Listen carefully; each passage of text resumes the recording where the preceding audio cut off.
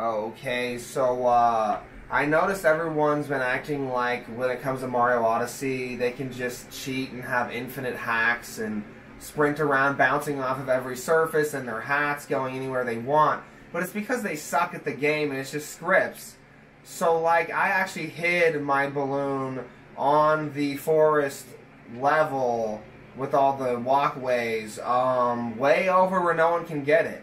And the only people I saw ever getting over there were scripting, and they cheated and would endlessly bounce on their hat over way off past the cage on that side. And I got there way faster with the flying creature, and I don't think anyone's going to get over there, and I don't think they're going to get it because they don't have enough time. So uh, no one's ever going to get that balloon. Yet they're going to claim here in another few minutes, with no one popping up online saying they got it or anything with any video evidence, that my balloon will be captured here. It only usually takes like 10 minutes or less. And we know that it's a completely rendered environment, so Yeah. it can be seen in 3D, which means it's automatically being recorded.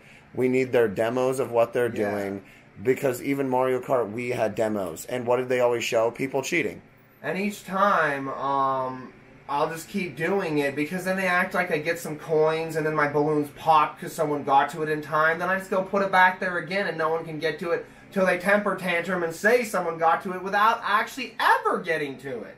That's what I'm declaring.